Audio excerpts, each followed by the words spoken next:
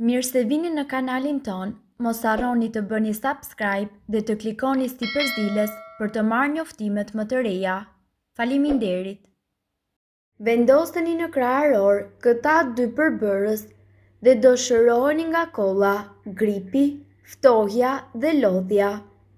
Ndër problemet më të zakonshme dhe të bezdisshme janë patjetër kolla, gripi dhe gjithçka që rrjedh prej tyre, sidomos në dimër kur bakteret dhe viruset përhapen shumë shpejt në vende publike, të tilla si vendet e punës dhe shkollat, dhe për fat të keq fëmijët janë të prekur. Ilaçet, edhe pse mund të jenë shumë efektive, e vërteta është se pothuajse gjithmonë të japin efekte anësore si lodhje, dhimbje koke, përgjumje e të tjerë. Sigurisht, gjithmonë është më mirë të ndjekësh këshillën e mjekut.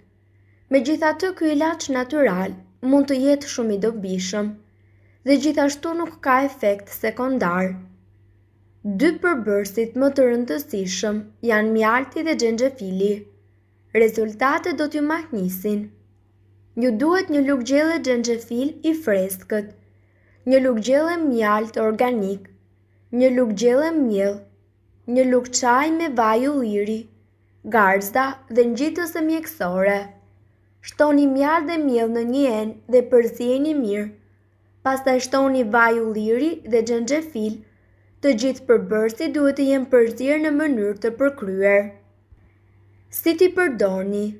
Merrni në garzë përzierjen dhe vendosini në gjoks ose mbrapa personit, i cili ka kollë dhe grip. Nëse aplikohet tek fëmijët, garza mund të hiqet pas një maksimumi prej 2 ose 3 orësh.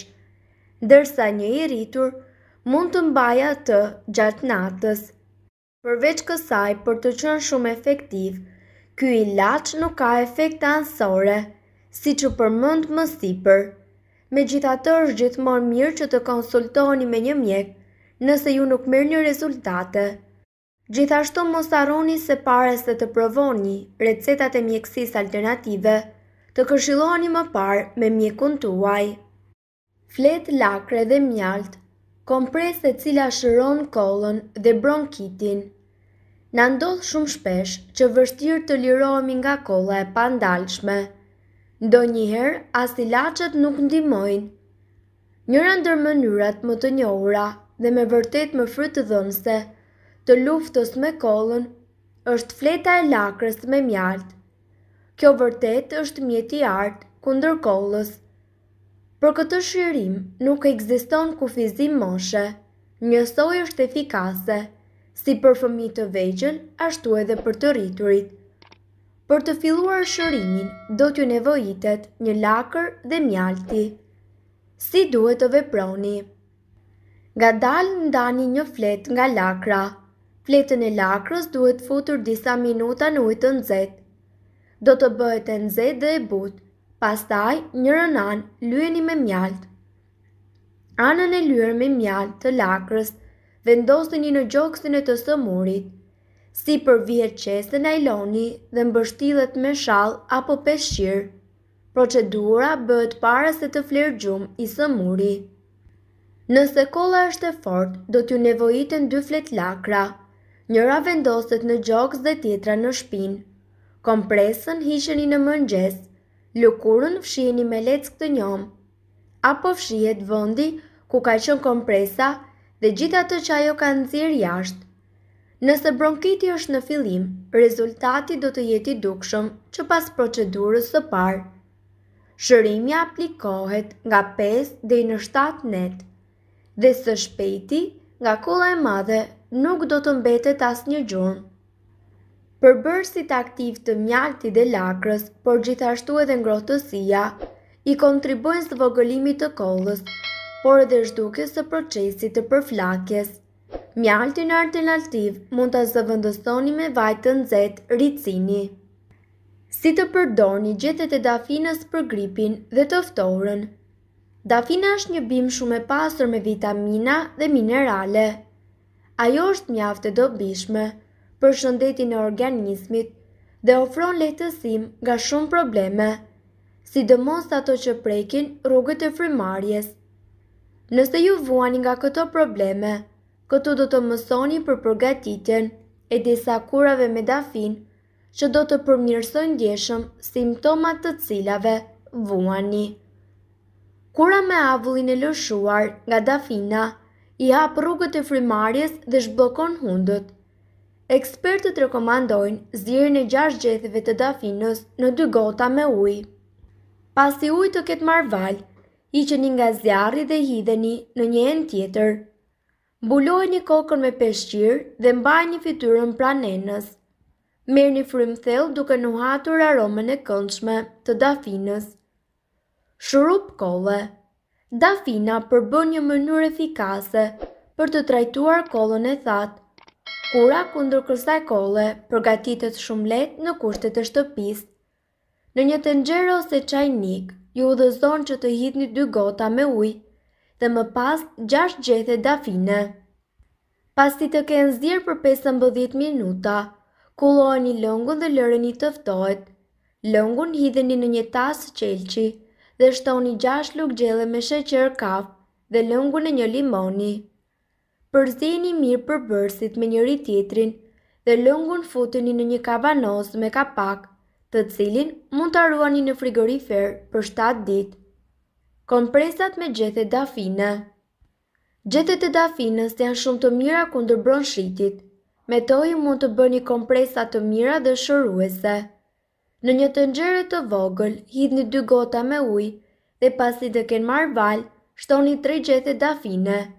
Fikeni sobën dhe pas pak minutash në tenxhere, hidhni një napë të cilën më pas mund ta përdorni si kompresë dhe ta mbani në kraharor. Një mënyrë tjetër është që pasi gjethet e dafinës të kenë qëndruar në ujë të ngrohtë për disa minuta, t'i vendosni menjëherë mbi kraharor. Vaji esencial i dafinës. Aroma e thellë e dafinës ju ndihmon të merrni frymë lirisht. Për përgatitjen e vajit të dafinës, ju duhen 4 deri në 5 gjethe dafine dhe 2 gota me vaj bajameje të ëmbël. Pastroni gjethe dhe hidhini në një kavanoz bashkë me vajin e bajames. Lëreni së bashku për dyzet ditë dhe më pas mund të përdorni vajin për të përmirësuar frymëmarrjen ose kundër sinusitit. Mbështjellja me mjaltë që shëron të ftohtin dhe bllokimin e hundës. Mbështjellja me mjaltë është diçka që shumë njerëz nuk do ta mendonin si një zgjidhje për të shëruar të ftohtin ose gripin. Fillimisht është përdorur si një kurë për të ftohtin, kollën dhe bllokimin e hundëve. Më vonë u vu re se ndikonte edhe në sëmundjet e tjera të rrugëve të frymëmarrjes, për shkak të vetive të larta shëruese dhe të përbërësve shumë aktivë, mjalti është zgjidhja e duhur për të trajtuar sëmundjet e rrugëve të frymëmarrjes. Përbërësit që do t'ju duhen janë treqind gram mjaltë i pastër, Miell ose niseshte, dy lugë vaj ulliri, garzë, një copë e pastër dhe ngjitës i fortë. Përgatitja Përzieni mjaltin me vaj ulliri për të formuar një strukturë homogjene. Nëse kura është për një person të rritur, atëherë hidheni edhe pak pluhur mustarde. Më pas shtoni miell ose niseshte, në mënyrë që përgatitjes të mos ngjitet në duar. Vendoseni copën që keni marrë mbi një sipërfaqe të sheshtë dhe shpërndani me kujdes mjaltin mbi të. Vendoseni më pas copën me mjaltë në kraharor ose në kurriz, sipas nevojës dhe ngjiteni atë me ngjitës.